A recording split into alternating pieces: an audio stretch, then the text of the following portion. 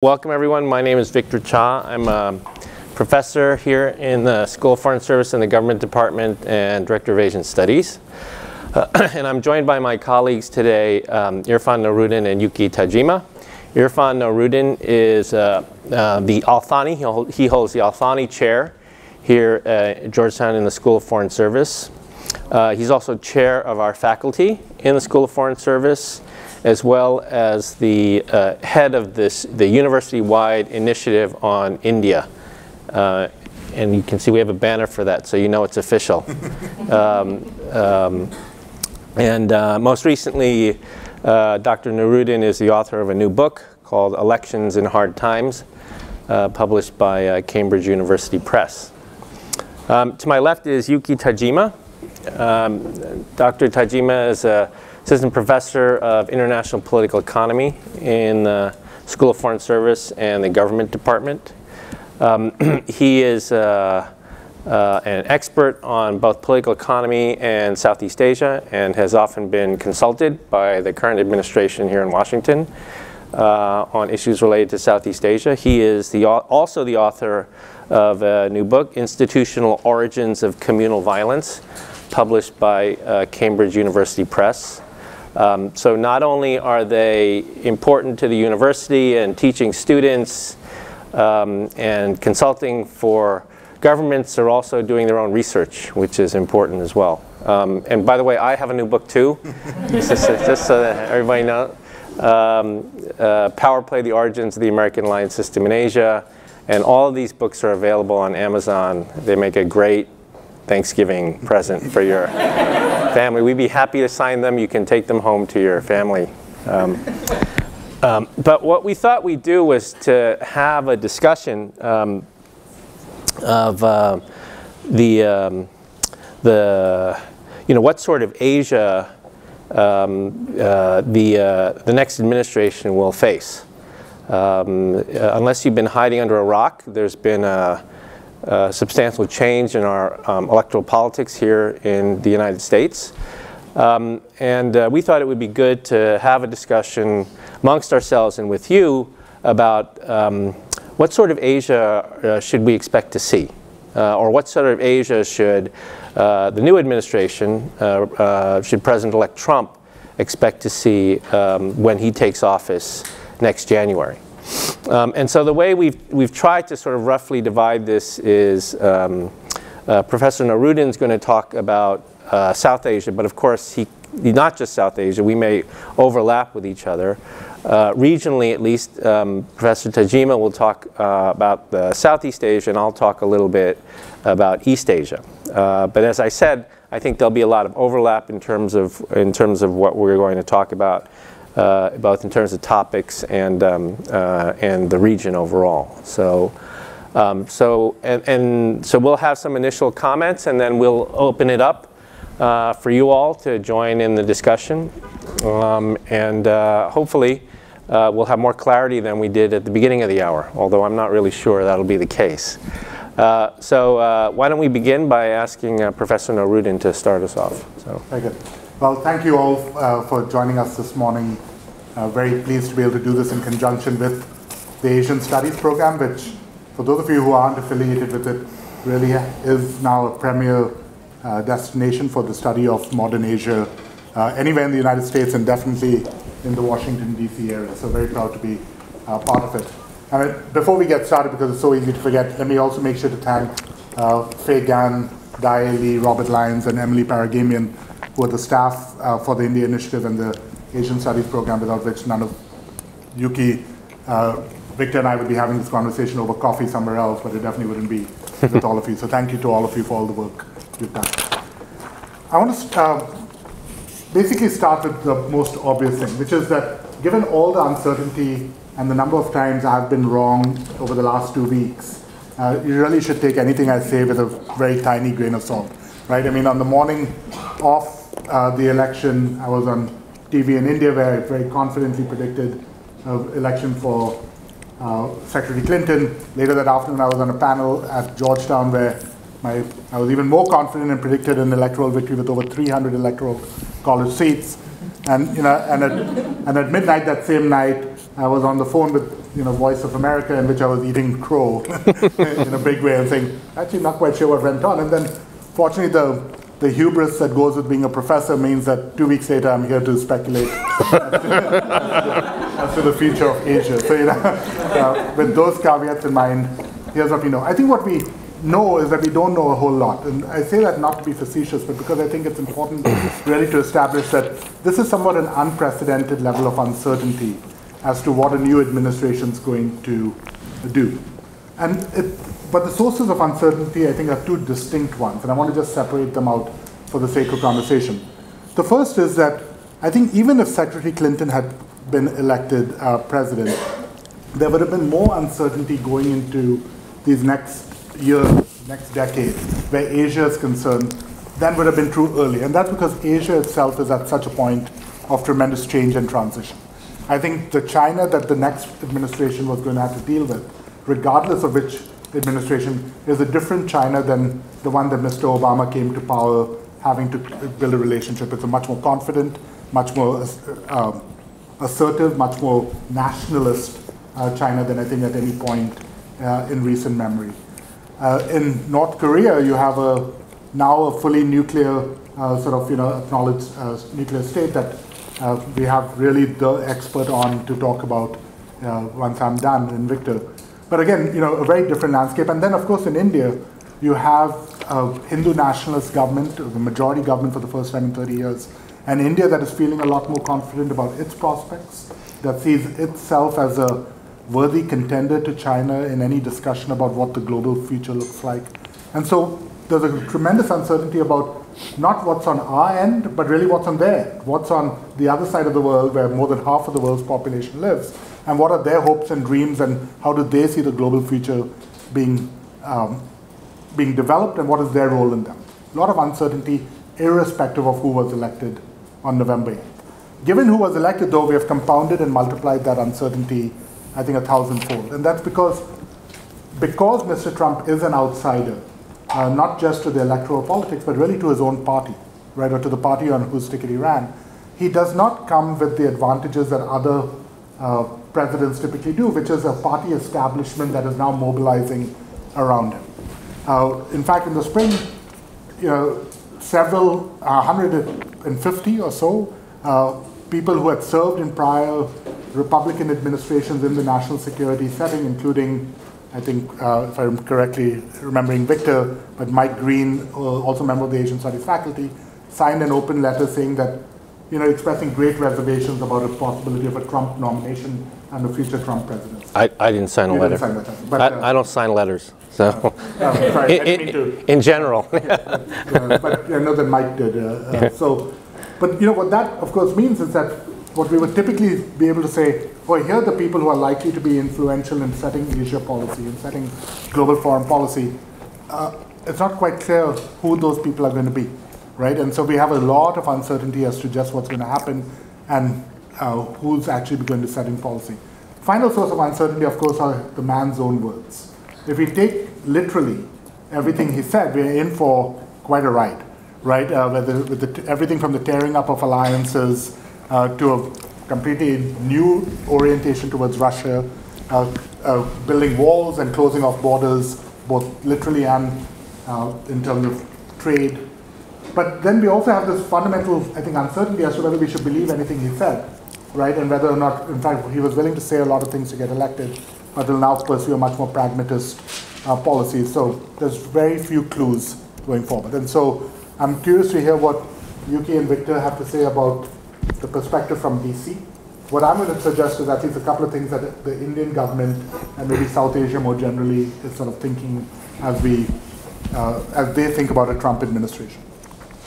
So the most important one from my perspective is that unlike maybe the consternation that is in East Asia about a Trump administration, I think in India there's a lot more positivity than one might expect. And that's partly because in Mr. Trump they recognize uh, a very similar figure to the one that India elected in May 2014 in Narendra Modi, right? An extremely confident, very comfortable with nationalism, very comfortable with identity appeals, but really someone who sees himself as a force of nature, who's not beholden to institutions. So there were celebrations in Delhi uh, after the election. right? Quite famously, in the lead up to the election here, there was a coalition called Hindus for Trump, right? Where Mr. Trump announced that he loves Hindu, right? Not Hindus, just Hindu, because that's a thing, right? Um, so I think I think there's a real expectation that Trump and Modi will actually have a decent chance of getting along, right? To the extent that personalities at that very high level matter, and that the how they gel matter. That the expectation that there should be a great deal of uh, personality compatibility between Trump and Modi in ways that might be actually good for India. I think India also sees in what is presumably a dead on arrival TPP, right, the Trans uh, uh, Pacific Partnership, which India was excluded from, which India was not ever at the table for, that that going south is not a bad thing for India, right? Uh, having a huge trade bloc of which India was not part was never going to be in India's uh, sort of national interest. And so I think that dying is seen as a positive. And to the extent that Mr. Trump is perceived as someone who's not going to uh, pacify China, but in fact take the fight to China, to push China, that India sees itself potentially as being a beneficiary of this, right? That uh, this could lead to a closer relationship between India and China, between India and the United States, beg your pardon. Uh, and that in fact a lot of Trump's earlier statements uh, also suggested a real criticism of uh, Pakistan, especially in, given its role in uh, Islamist terror. And so again, that India sort of comes out of this, you know, you're criticizing China, you're criticizing Pakistan, we are the democratic uh, beacon in South Asia, we are the we are the way that you balance China, we are the way you counter Islamist terror. So I think there's a lot of bullishness uh, about Trump among certain parts of the Indian establishment. What's less clear is, of course, whether who he puts in place to do a lot of the day-to-day work in the relationship with India. Lots of big deals signed where India finally agreed to back the Paris Agreement, right, uh, which was a pretty heavy investment of political capital on the part of Narendra Modi, only now to have a president who basically says that he's not going to sign uh, the Paris Agreement. So what does this mean for climate change? What does this mean for models of outsourcing and visas that have been a large part of the Indian growth story but that a Trump presidency threatens uh, to undermine. And to the extent that there's more generally a sense that this might lead to an isolationism, that's a strong word, but really that the pivot to Asia, which is not obvious that it ever really pivoted, but to the extent that at least Obama wanted to pivot to Asia, that if Trump doesn't do that, that yes, India might be sort of get the benefit of a, a Trump who's skeptical of China, who's skeptical of Pakistan, but if America more generally withdraws, there's less attention to Asia, and then India sort of is left to, to its own devices, and that's not necessarily in India's interest. So a lot of uncertainty over there. One final uh, sort of thing to put on the fire, as it were, for us to be you know, ruminating about. India very much sees a place on the UN Security Council as sort of a non-negotiable recognition of its status in the world. And Obama had at least signed on in principle to supporting a permanent seat for, the, for India at the UN Security Council. Now, it was not obvious that they were ever going to be able to get past the Chinese veto uh, over Pakistan's objections, but at least in President Obama, they had a very high profile supporter of that. Uh, and I don't see any reason to think that Mr. Trump is going to be supporting a real reform of international institutions that he has been very openly skeptical and, in fact, antagonistic towards. So, to the extent that India sees its path to sort of world uh, you know, world status running through international institutions, an administration that wants to undermine those institutions is likely to be uh, a bit of a problem. So, in sum, I would say that there's a lot of this is the good news, bad news from the perspective of India. I think the fundamental uncertainty makes all governments a little worried. They like to know that things are going to continue along the track laid. And Mr. Modi had invested a lot of capital in building a close relationship with Mr. Obama that was reciprocated. Uh, Obama became the first US president to be our chief guest at India's Republic Day, which is the celebration of the Constitution. And to accept that invitation, Mr. Obama postponed the State of the Union address, right, which is a fairly unprecedented thing to do, so that he could be in India on Republic Day. So a lot of investment of political capital. Does that extend into a new administration, or do they have to start fresh? So questions over there. But that said, I think to the extent that they see this as a president who's willing to poke China in the eye, right, and sort of stand toe to toe with China, I think India sees them as benefiting from, benefiting from that. to the extent that this is a president who will go after Islamist terror, and maybe, let's be honest, by extension, Muslims, Islam more generally, a Hindu nationalist government in India uh, might see over there a pretty sympathetic ally.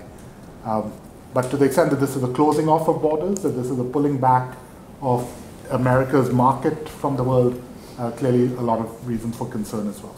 So with that, let me hand it to Yuhki and okay. we'll go from there.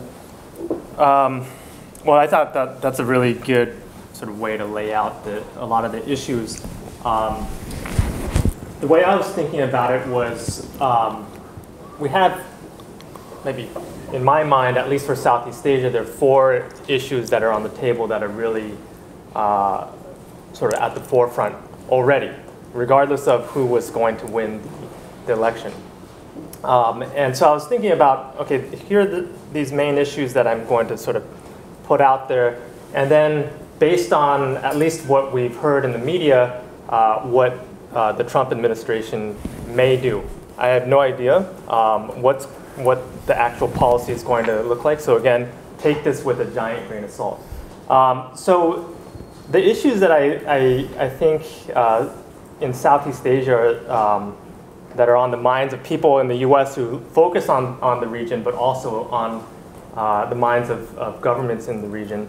Um, first is, of course, the South China Sea issue with the territorial disputes, also the freedom of navigation issues uh, in uh, the region. Um, as a proxy of where uh, U.S.-China relations stand, right? Um, that's obviously, when it comes to sort of the international relations side of things, is sort of the biggest issue on, on the table uh, there. Uh, but I also want to talk about, uh, and, and, at the same time, there's also the uh, Trans-Pacific Partnership, right, which is about uh, the sort of, sort of a reaction to, in part, uh, the sort of U.S. balance to Asia, uh, balancing against China, that sort of uh, idea. Um, so those two are the sort of international issues. But I don't want to just focus on the international. Uh, there are sort of domestic issues in each of these countries as well. Um, and so two issues that are, I think, what I would consider sort of trends that are happening is that there, there is a sense that in the region there is a fragility of democracy Right? If you look at uh, Thailand, sort of coming, sort of receding from democracy. Um, if you look at Myanmar, which has sort of emerged from outright uh, authoritarianism, right? Um, it's a very fragile situation uh, as far as the dem democratic institutions are there. Um, and at the same time, we also see throughout the region a trend toward uh, nationalism, right? And, uh, and, and sort of uh, ethnocentrism and sort of related to that, an erosion of civil liberties, right? So uh, prominently, we, we can look to the Philippines, for example, right? Where we have uh, reports of uh, extrajudicial uh, killings, you know, sort of attacks on the press uh, and, and opposition leaders. In Indonesia, there has been recently, so in Jakarta, you have the, the governor of, of of the city, which is the first time uh, is a ethnic Chinese and Christian uh, governor, right, of the largest and most important city in Indonesia. And recently there have been these protests against him where the hardline Islamist factions, especially uh, this group called the FPI, which is the Front uh, for the Defense of Islam, they're a very fringe group, but they were able to exploit uh, some issue uh, to sort of really make it difficult for the, the, the ethnic Chinese governor uh, to sort of get reelected, which will happen next year, the election. Um, and so what you start to see is there, there this mobilization of, of, of people along religious and ethnic lines that uh, is disconcerting for anyone who looks at uh, Southeast Asia, which has a history of uh, ethno-communal violence, uh, as well as, in particular, anti-ethnic Chinese uh, violence as a minority, right? So in the region, uh, the ethnic Chinese are often sort of compared, the analog in the, in the European cases would be uh, Jewish groups, okay? Um, and so that's, that's of, of course of concern. And a similar dynamic uh, started happening a couple years ago in, in Malaysia. Um, uh, not just ethnic Chinese, but also ethnic uh, Indian. So these are the, the four sort of international and domestic issues in the region I think that, uh, at least I think, are, are super important.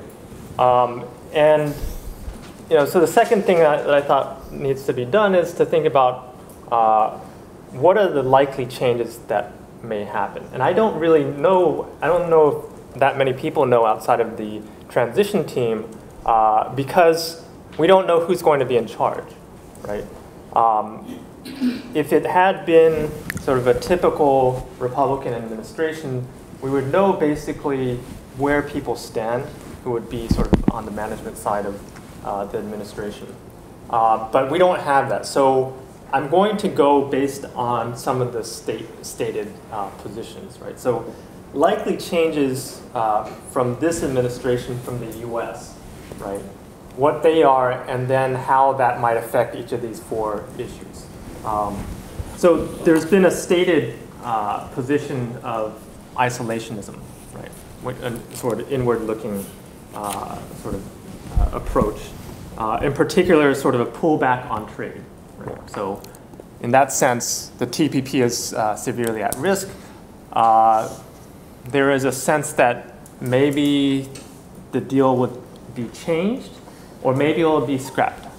I'm not sure which way it'll go. Um, but the thing about trade is that um, when it comes to this sense that things are being pulled apart in the region, right, where people have to, countries have to sort of think about which side of the U.S.-China uh, relationship they're on, right? Well, trade is a useful glue that binds. Sort of pulls people together. It sort of provides a sense that there are ways in which we can all benefit by cooperation. Right? So, trade incentivizes cooperation, um, and certainly pulling back on trade can have uh, the effect of getting rid of that uh, centrip centripetal force going inward, right? Pulling countries together. Um, and so that's uh, something that is of concern when it comes to thinking about uh, international conflict. Okay. Um, if we're thinking about, uh, well, another likely change, I think, and I think um, based on the, the, statements out there, although some of the, uh, the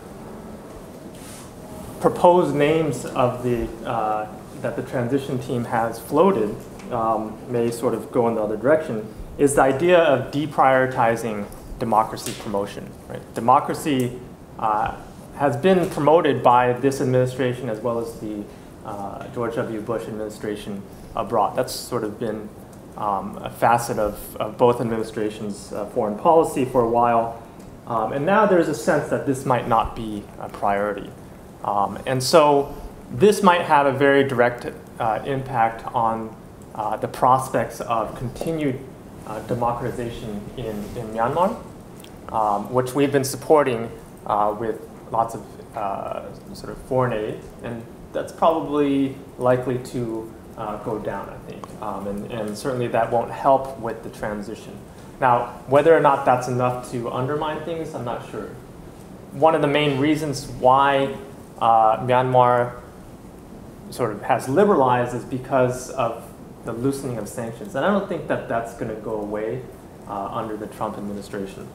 Um, the third likely change that I was thinking about was, um, you know, based on some of the statements that, or the rhetoric in the campaign. Um, I think it's undeniable that there um, is a sense that there's greater polarization of identity. So the, the, the idea that um, uh, we have various uh, policies or sentiments at least uh, that may be sort of anti-Muslim, for example, right? Um, this is not going to uh, be seen as a positive in certain countries in the region, right? Now, maybe in India it's a different situation given the demographic uh, differences there. But in, in Malaysia, in Indonesia, in the southern Philippines even, uh, certainly this is not going to be seen uh, it's going to play into the hands of the, the extremists, I think, right? So I think when I look at the rise of this fringe group in Indonesia, of uh, sort of Islamist forces there, um, they've, Indonesia has been extremely effective in fighting terrorism. Um, I have a lot of friends who have done a lot of research in, uh, on these groups, uh, myself included. And when they have sort of, you know, it becomes very clear uh, that the Indonesian government does a really good job of infiltrating extremist groups and then keeping a lid on things.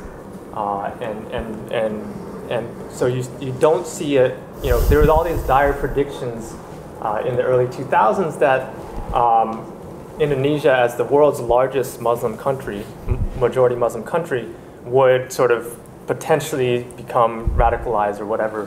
Uh, and those were completely uh, overblown. Uh, and I think Indonesia has become a model of how a, a Muslim country can not only be uh, a force for liberal democracy and, and, and uh, pluralism, but also how they can manage threats from fringe groups in general, right? Um, and so you know, I, I do worry that uh, the rhetoric that we've had, and in particular, if there are thing, if there are policies domestically in the U.S. that play into the hands of a narrative that the West is after Islam, right? For example, uh, there's recent discussion about a, a, a registry of Muslims in this country. That's not going to be received very. It's going to play into the hands of the extremists who might say to the more moderate Muslims, which is the vast majority of Muslims in Indonesia, will say, look, look what the, the big bad West is doing, basically, right? It's going to play into their hands, right? Um, and that's, that's uh, of course, very worrisome. And the, and the last uh, change, and I think it's, um, you know, I'm not an expert in international relations, I'm a politics person. Um, but I do think that there is an important uh, influence of personality of leaders uh, in international relations. And we're going from a very, um, you know, reserved and careful president in Obama, right? He's very, very scripted in what he says, uh, particularly internationally, right? He, he doesn't go off script very much, right? to someone who, you know, uh, for better or worse, is, is less scripted. Right? So some of his supporters would say, well, he's, you know, he's being sort of forthright. He's being very honest about himself, right? And so that's an appeal to, to him. On the other hand, when it comes to international relations, is this uh, a, you know, it's, it's not necessarily the best thing to, to be able to, to, to speak off the cuff, right? And we do have um, you know, for example, if you look at Duterte in the region, right, the, uh, the president of the Philippines, um, in some ways, maybe it helps you, you know, bargain potentially. But on the other hand, you can, if, if you have, if you go off script, you might fall into a number of, dip, you know, unnecessary diplomatic tips. Um, and what happens when you have you know, some people, some leaders who, neither of whom sort of want to back down and also are prone to going off script. Well, I'm not sure that that's conducive to. It, there may be a number of international tips that may happen unnecessarily. I guess is is my concern. Uh, so those are my main uh, thoughts, and I'm looking forward to hearing uh, from Victor. Great. Um, thanks, Irfan and Yuhki. Um, so uh, I have here the plan. no, I don't. I don't have any. Uh, so, um, so I'll talk a little bit about East Asia.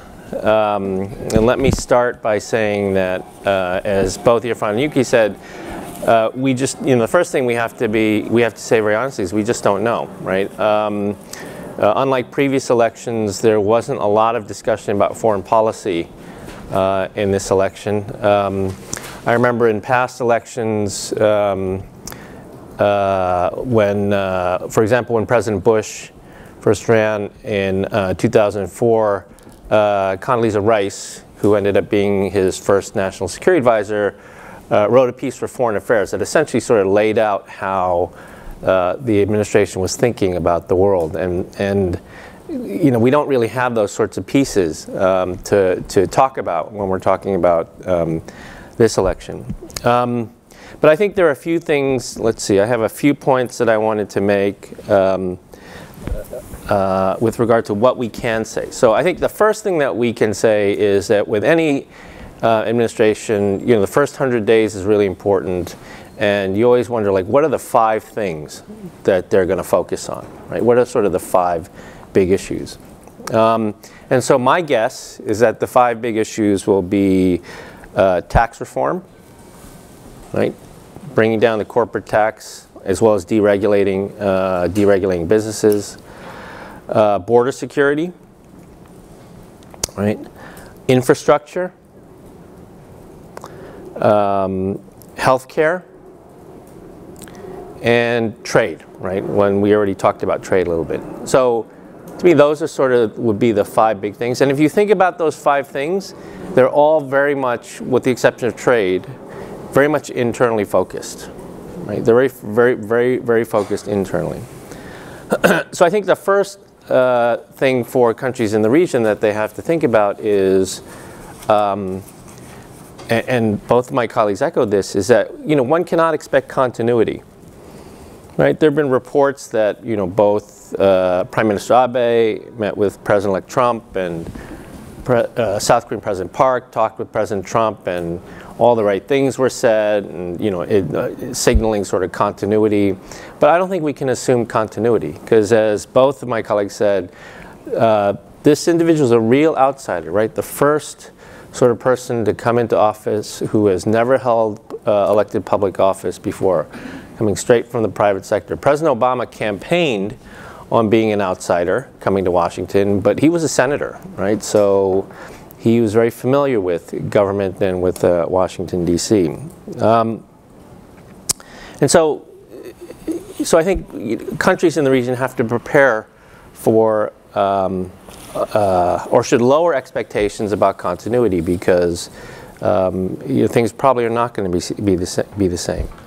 Um, throughout the campaign, when it came to allies like Japan and Korea, um, President Trump, President-elect Trump, uh, always talked about the need uh, for treating allies fairly, but to be treated fairly by the allies, right? And um, and so, you know, a lot of this translates into things like sharing costs, paying more. You know, both Korea and Japan have cost-sharing agreements. Both Korea and Japan, allies, military allies of the United States, as well as Germany, have cost-sharing agreements with the United States. Um, and so when they talk about you know share, uh, sharing the burden or paying more, then I think you know you could see changes in the nature of these cost sharing arrangements, um, in which um, in some cases uh, the United States pays about half, in other cases they pay less than half. Um, but you know these are very complex negotiations that have many pieces, uh, and every negotiation is one because I participated them in the end where you always feel like the other guy could have paid more right? And so, you know, I think this is something, this may be an element of some of the, of the alliance relationships. On trade, I think I would agree with uh, Irfan and Yuhki that um, the trade picture, um, it, it, it, it, certainly is not continuing in the same direction that we saw it over the past three or four years. Um, TPP, the 12-member free trade agreement, um, pretty much looks like it's sort of at a standstill. Lame duck Congress is not going to ratify it. Um, and President-elect Trump's views on TPP have been made very well, uh, very well, uh, very well known. and then the other element I think is that um, because there is this emphasis on allies doing more, you know, paying more, share, carrying more of the burden, what, what you could see is um, actually a strengthening of the network of U.S. alliances in Asia. So in other words, the United States has you know, these bilateral relationships with all these countries, Korea, Japan, the Philippines, Australia, and others. Um, and in the past, especially after the end of the Cold War, the United States was very focused on networking those, those bilateral relationships, having our allies work with each other more, right? So uh, U.S., Japan, Korea, yeah, U.S., Japan, Australia, the Quad, right? U.S., Japan, India, Australia, U.S., Japan, India, and Australia. And so um, I think one of the things that we could see is that this, this networking of the U.S. alliance arra arrangement could actually become stronger because allies will be encouraged to work with each other more. And one very proximate example of this is that this past week, the Koreans and the Japanese uh, finally signed an interim agreement on general sharing of intelligence, right? This was a very difficult issue between the two countries, almost led to the collapse of the previous government in Korea. Um, um, uh, but you know, it, it, these sorts of things we may see more. Missile defense, networked missile defense, these sorts of things where allies will be asked to, uh, do, to do more. Um, and then um, I think one thing that um, the administration is going to have to deal with, of course, are uh, the, you know, even as the United States may be focused on things like infrastructure and tax reform and these things, um, this doesn't operate in a vacuum, right? The region is evolving, it's changing. Um, the, threats won't disappear in the region. They will still be there, whether it's the South China Sea, the East China Sea.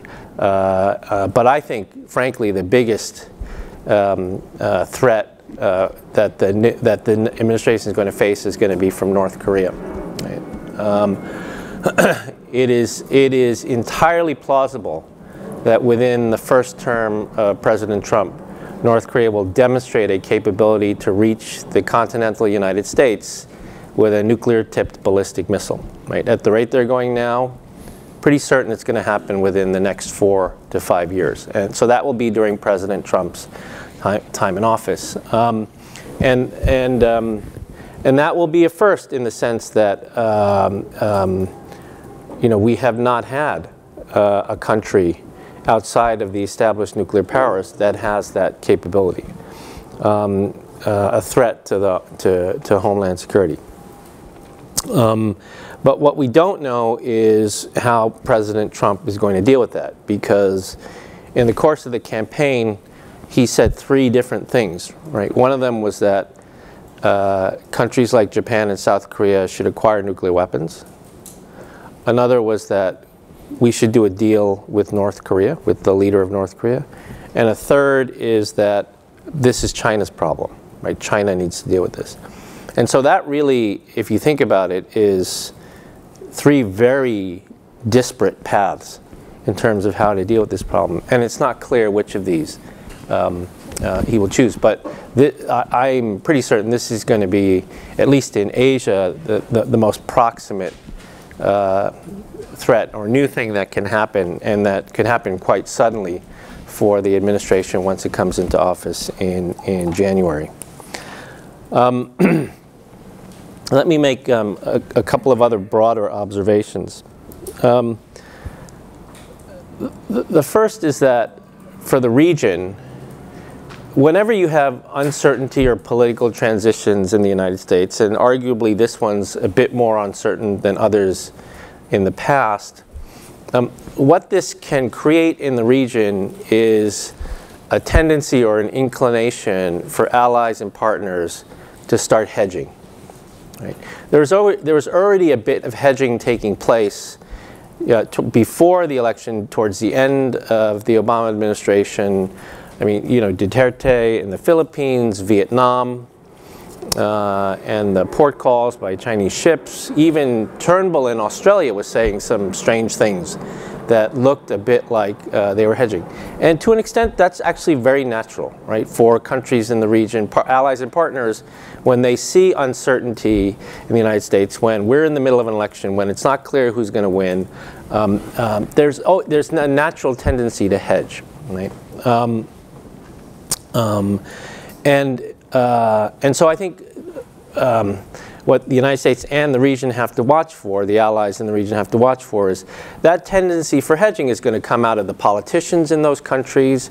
It's going to come out of maybe some of the strategic elites. It's going to come from the press. And for those who manage the relationship with the United States, or those in the United States who manage the relationship with these allies and partners, you know, you have to be very conscious of that dynamic, right? Um, there will be arguments about how uh, now that TPP is gone, RCEP looks interesting, or One Belt, One Road, or AIIB, right? All of these, you know, China-created institutions in the last decade may start to look more appealing um, to some of these countries. Um, uh, my own view is I don't think that these countries, regardless of how what the Trump administration does, will start will go beyond hedging and move completely to the Chinese side. I think many of the countries in the region um, will try to, um, you know, will try to work with the Trump administration. Will try to signal that um, allies are not resource depleters of the United States, but allies are, are, are power amplifiers for the United States. Um, you know, try to make that argument. Uh, I think in the case of Prime Minister Abe, he will probably see uh, the U.S. call for allies to do more as an opportunity to advance his own agenda, right? Uh, whether it is in terms of um, um, uh, greater flexibility in terms of China, uh, Japanese foreign policy, Japanese defense policy, these sorts of things. And I think many countries in the region, you know, will take as a given that there may be a little bit more internal focus by the United States. Um, and, and so how, how do you convey that allies are still power amplifiers for the United States, not power detractors? And then how do you advance your own domestic agenda aligned with the direction in which you see the United States uh, going? The second uh, broader observation I would make is that um, sometimes when big powers like the United States focus inward, um, that creates a natural desire to have a reasonably stable external environment. Right? When you're focused inward, you don't want to be fighting externally. You want a serene sort of external environment as you focus inward. Um, and so what the, the, the, thing that I think both the region and the United States have to watch in terms of that is, you know, when great powers want a serene external environment, one of the ways they've dealt with that historically is great power concerts, right? Um, you don't you don't seek to challenge the adversary. You look to cut deals with the competitors, right? Even if it's temporary, right? And so when um, you know, we hear in the press about uh, closer relations with Russia, um, uh, tough on China in terms of currency and trade, but not a lot of harsh words on strategy, from what I could understand. That you know, you know, there there could be a tendency to see, um, as you focus inward, an interest in trying to stabilize the external environment uh, by reaching sort of modus operandi understandings with, with uh, some of the bigger powers uh, in the region. Um, I only have two more points. The, the, the third is that um, I, you know, we throw around terms like isolationist and these other things when it comes to uh, the incoming Trump administration, and we don't know, right? We don't know at all. But I think one of the things that we do know is that it's not ideological right? I mean, this is not a neoconservative administration, right? It's not a progressive administration. It is basically non, is a-ideological, right?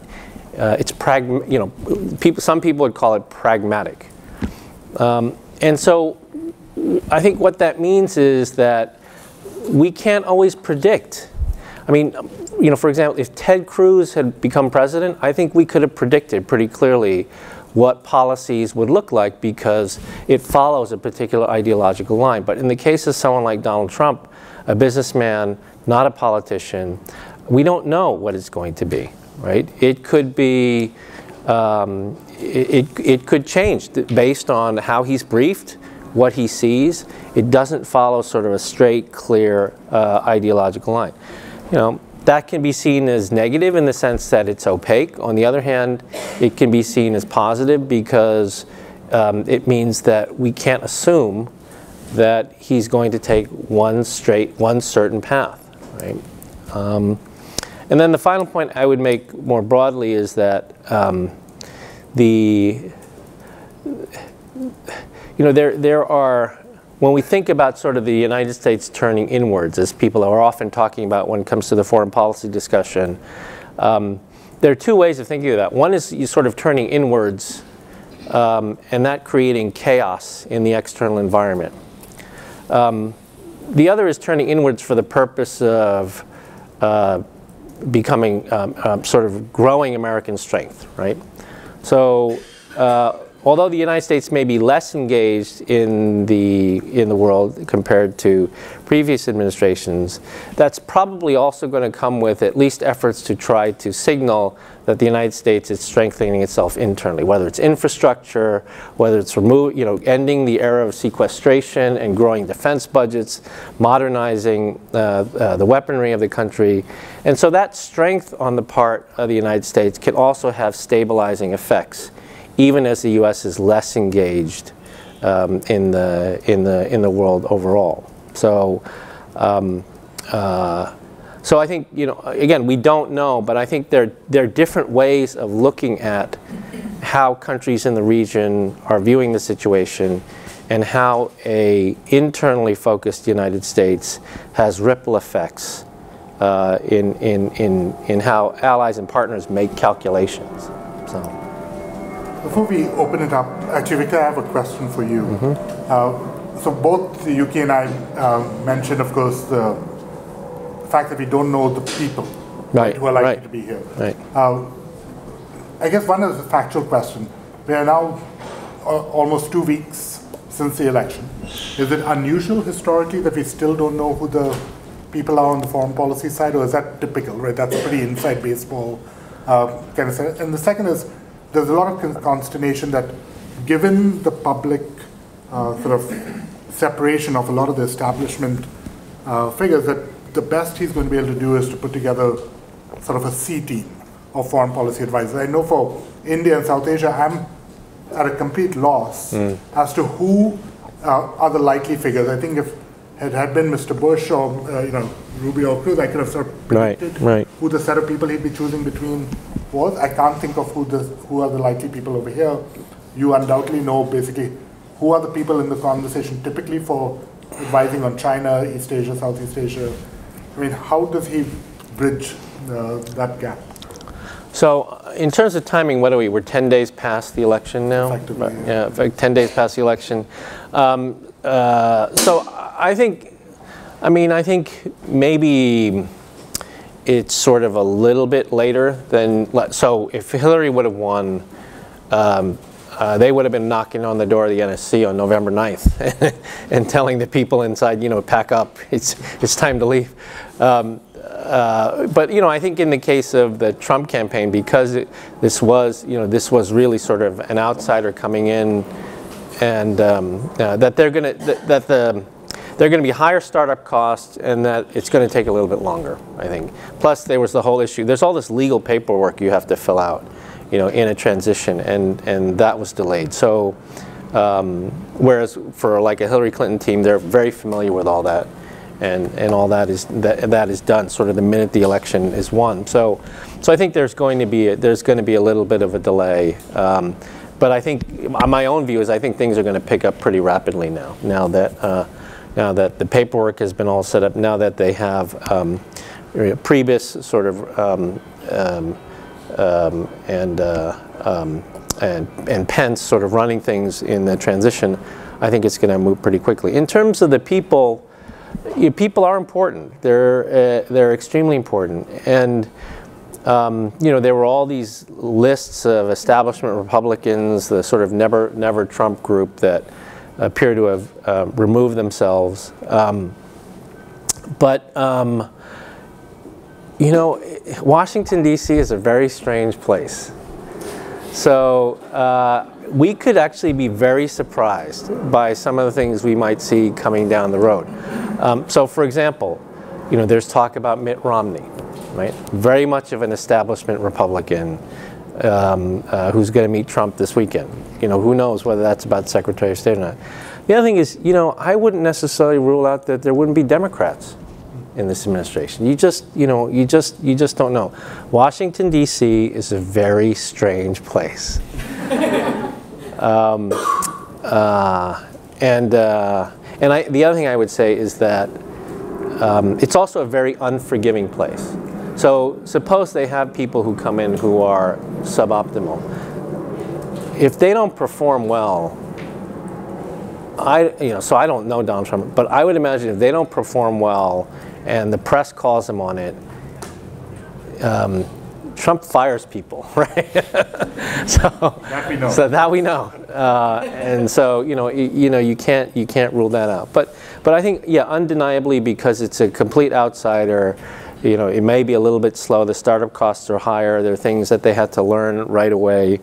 Um, uh, but I think it will probably pick up pick up from here, and we will see from the appointments that he makes um, uh, what sort of team uh, he can put together. I mean, I'm listening on the way in, listening about some of these potential appointments for CIA and others.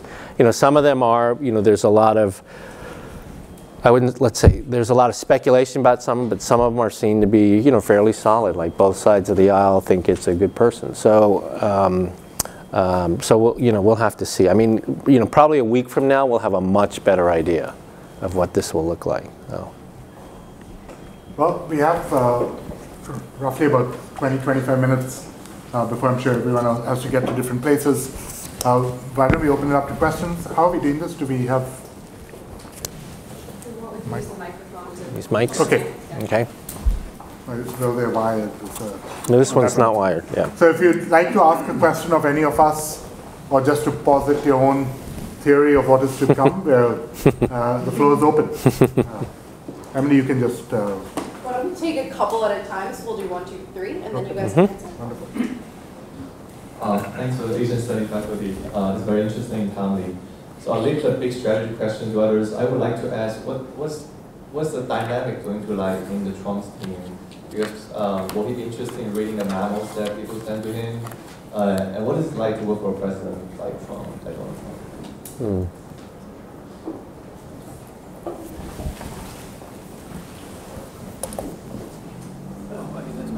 Yeah, we're gonna do a couple round, Oh. one, two, three questions, and then they will answer all. Um, Mine's kind of more, again, more big picture strategic.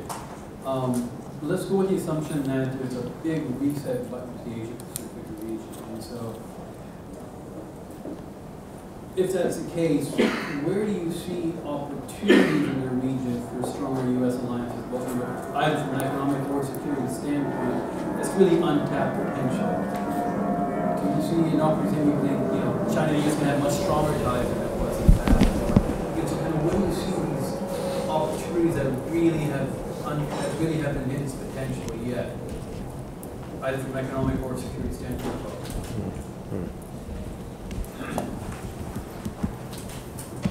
Hi, um, thank you very much for uh, this opportunity and this discussion.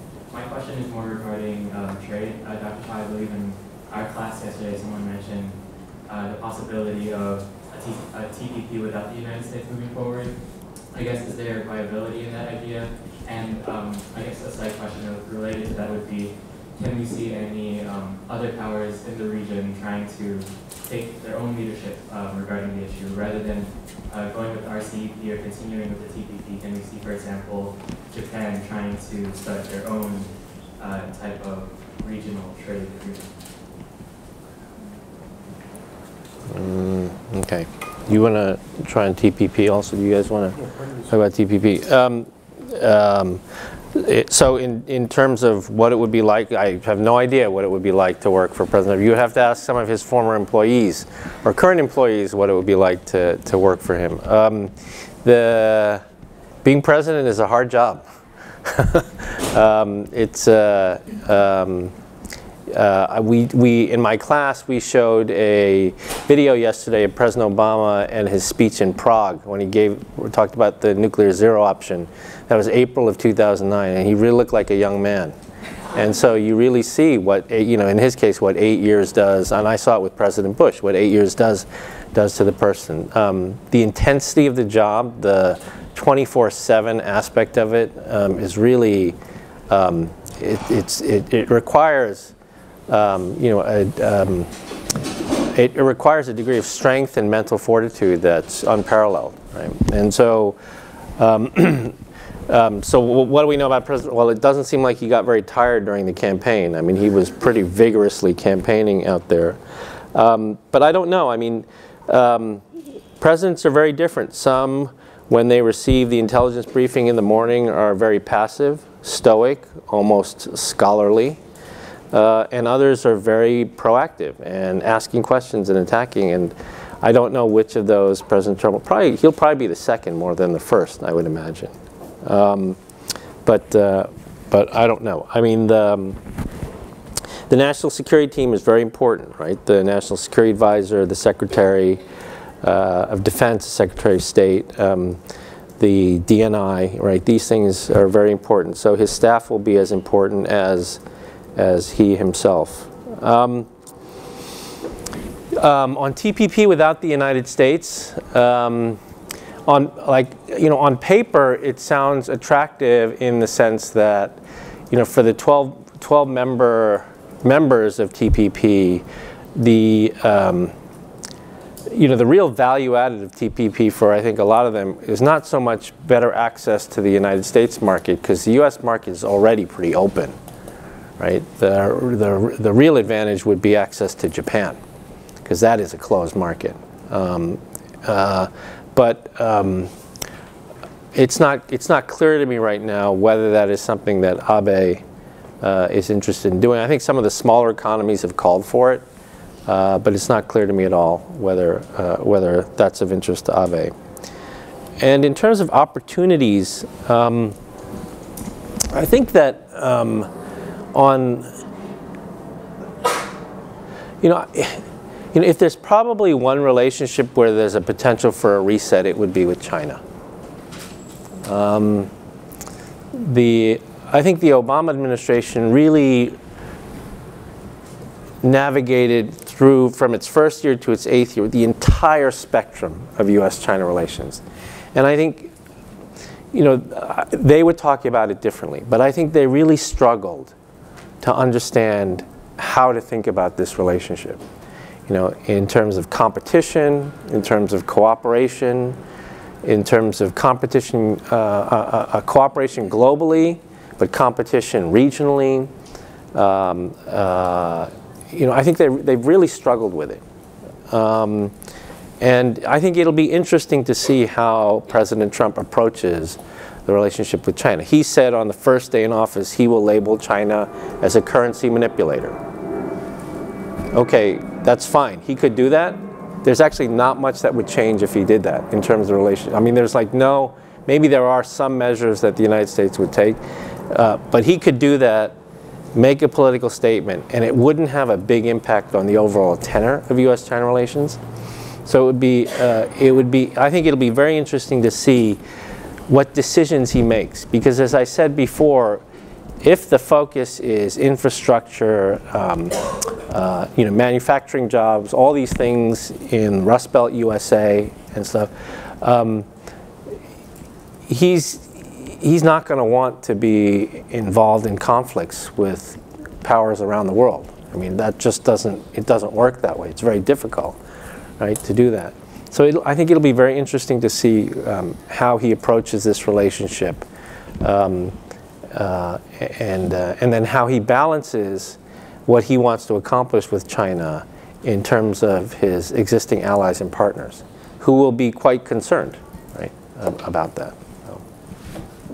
You want to say anything about Sure. Um, so on the opportunities for potential alliance building, um, I think, so one of the, one of the inconvenient parts, constraints, I guess, of, for, of U.S. foreign policy is for, for some coalitions or alliances is the commitment to democracy.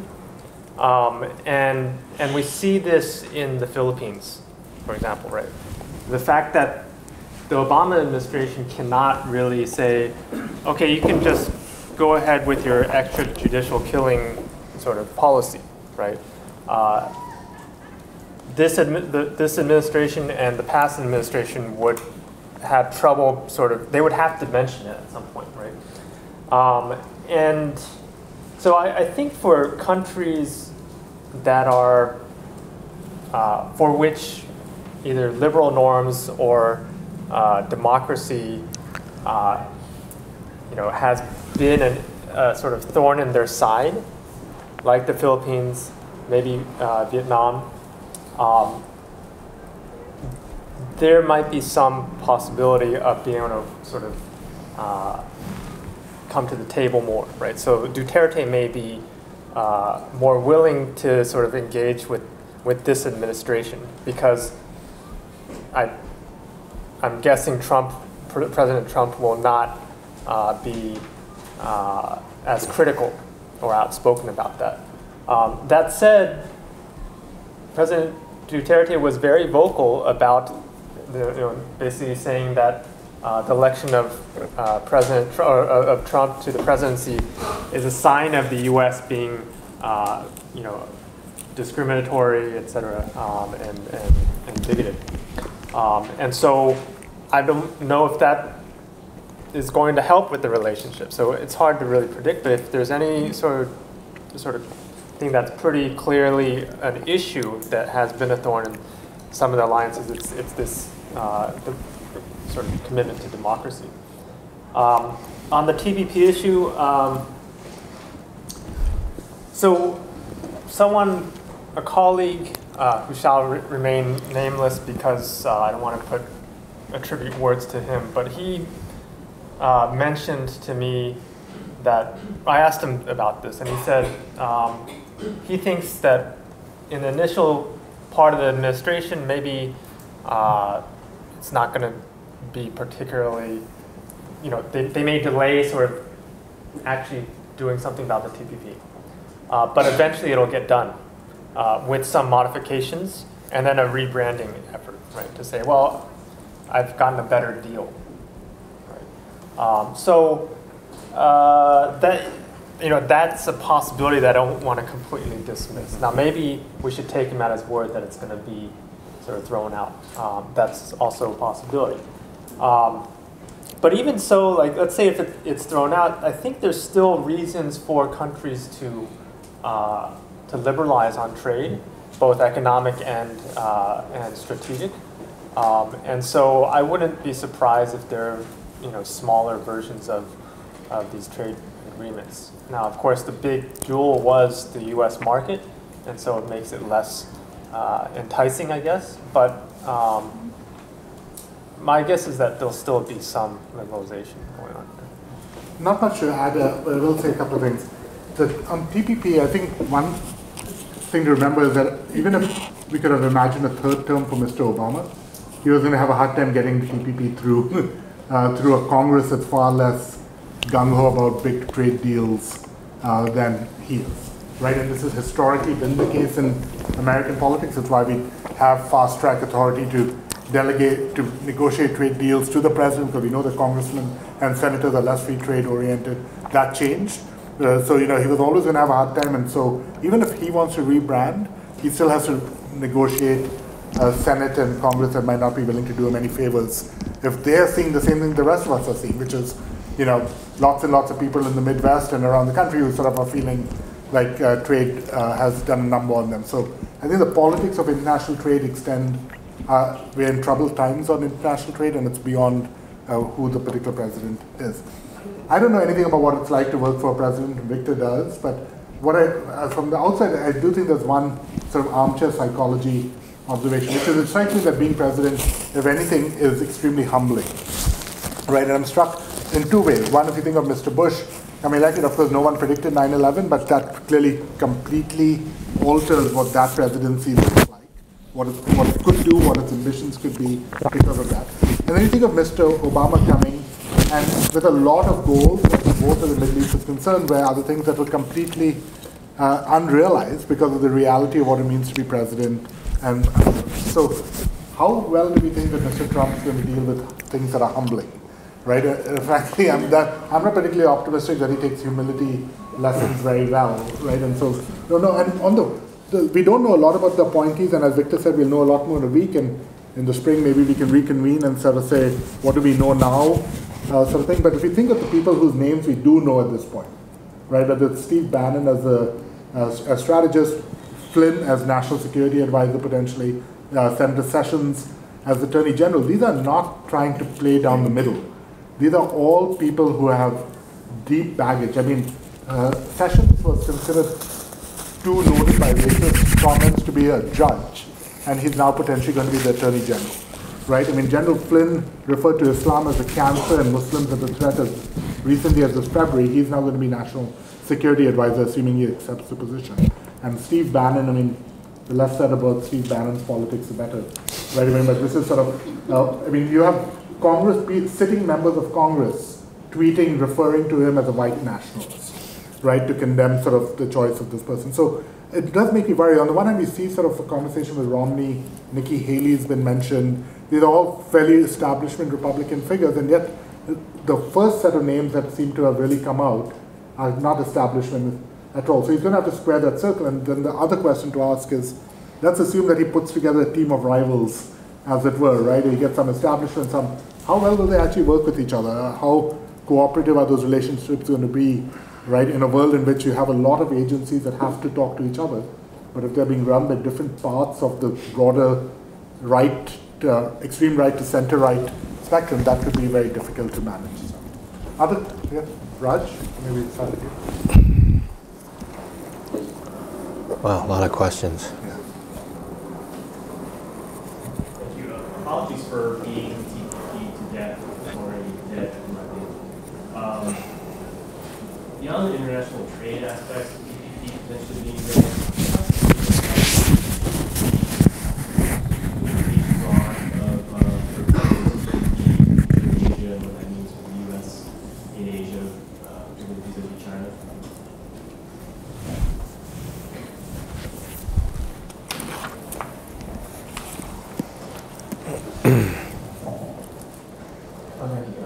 question for Irfan. Um, um, I think, so last few years, the U.S.-India relationship has come a long way. But it's, it's partly because both India and the U.S. needed each other for various reasons. Going ahead, I'm just finding it hard to, see why, or, or what the value India would be for a Trump administration. Um, I mean, given his comments of an America first foreign policy and transactional approach to foreign policy. Um, would China still be the driving factor in the equation of India? Would Trump be as interested in promoting India's development and its role in the international order as Obama had been? So just, I'm just trying to find the reason as to what the strategic reason would be for Trump to invest in India.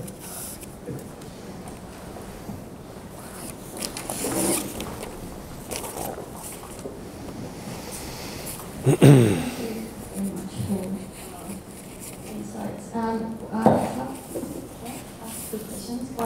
One, uh, is um, about the um, how the and U.S. relations will play out in Asia.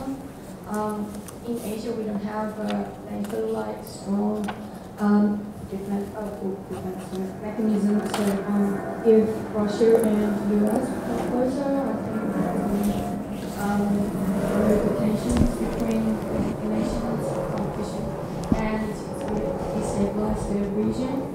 Um, so are there any pros and cons of um, U.S. and Russian relations in regard to the new administration? And the other one is that the Trump, um, that this election I thought was about, not just about Trump, I thought it was about the people, also the people who didn't have a voice uh, in the past uh, politics. And um, how to how can Asia countries can reach out to those people who think that uh, global trade or global economy um, um, beneficial to them. So, like, we don't want to see the U.S. Um, destabilized internally. With, um, I think if we, if the U.S. and Asian countries grow their diplomatic uh, relations, I think in the eyes of people who supported him, might think that, oh, um,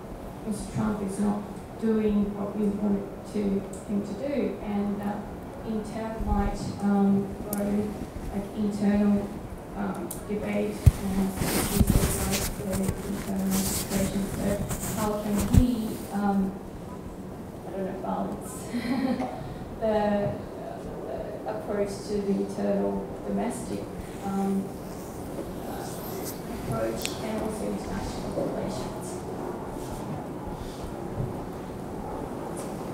Very quick answers. We one more round. Yeah, yeah.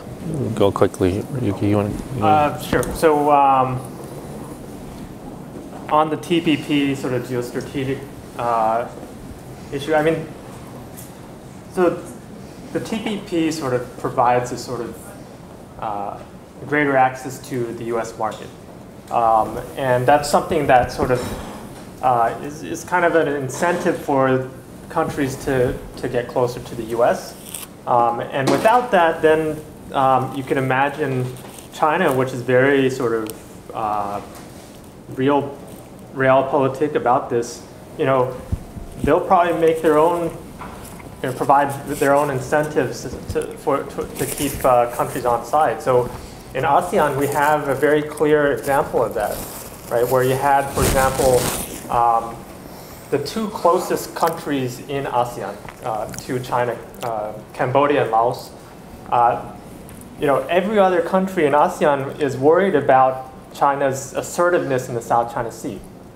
Um, and uh, those two countries, uh, I think in particular, um, Cambodia, uh, were basically being lobbied by their fellow ASEAN nations to sort of put out a statement against China. And ultimately, the Chinese government offered a huge amount of money to the Cambodian government and said, here's some money.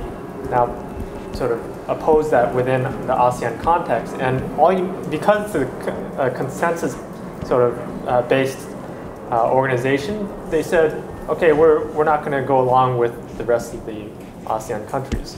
So you can imagine that the, that China can sort of push back uh, or, or, or, sort of use, use this as an opportunity to, to, to break apart sort of ASEAN unity, for example. Yeah.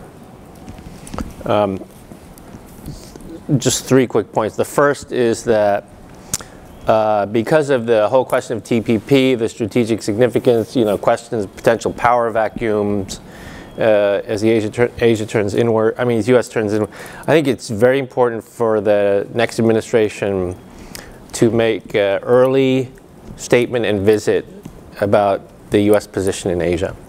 Um, there are, I think, there are hedging tendencies that will naturally emerge.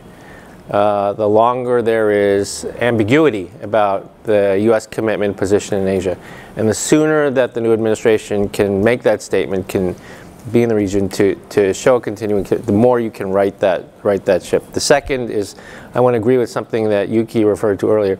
I think one of the, you know, to the extent that we understand anything about Trump's foreign policy, the big blind spot that we've heard nothing about has been on democracy and human rights. Right? We've heard nothing about democracy and human rights.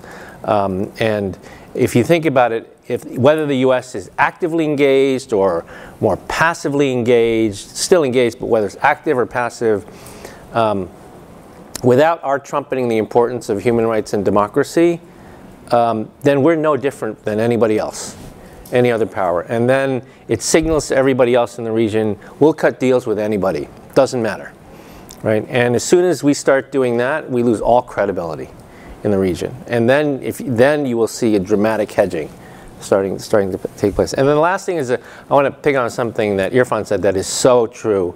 um, even though you didn't work for president, which is, we, you know, we have all these views here about what we think President Trump might do, you know, who he's appointing, what's his domestic agenda. In the end, if you think about it, we remember presidencies not for the agenda they had coming in, but the first crisis that they meet, right? It's all, I mean, if you think about whether it's from President Obama, the financial crisis, for President Bush, uh, President Bush's agenda in many ways was very much like President Trump in 2004. Internally focused, rebuilding the US, don't be overextended, these sorts of things. And then 9-11 happened, right? And then the United States was globally looking for partners in the war against terrorism. So don't underestimate how the next crisis, right, can dramatically change the texture, the outlook of a presidency.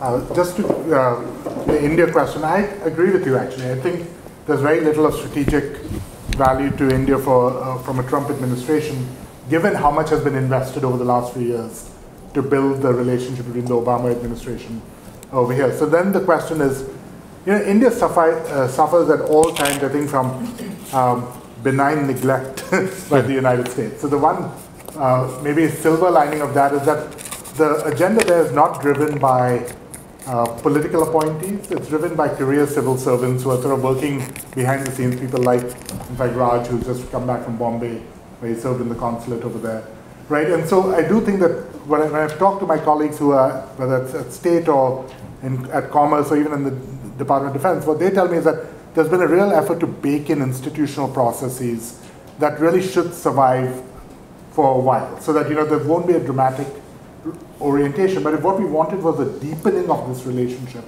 I don't see that coming in this administration because, as I think Victor has made very clear, right? I think the real agenda for this administration is domestic. So at best, what they want to do is uh, avoid entanglements, as it were, outside, and that. But that means a lack of investment, even where maybe investments would pay off. So I think for India, uh, you know, there's optimism that maybe there's some institutional processes that should lead to a better relationship. But to answer your other thing is that I think India can't get past the fact that for the U.S. it's all about China, uh, and you know, and that all the optimistic scenarios of a Trump administration, where India is concerned, hinge on Trump playing a role where China is concerned. That I again agree with Victor.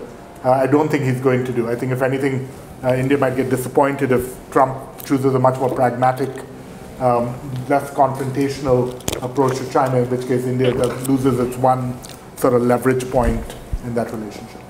I know there's more questions. We're going to have to take them offline because I want to respect the fact that we had said we'd end at 12.30. Uh, let me thank you all. The India initiative is online at india.georgetown.edu. The Asian Studies program is online at asianstudies.georgetown.edu.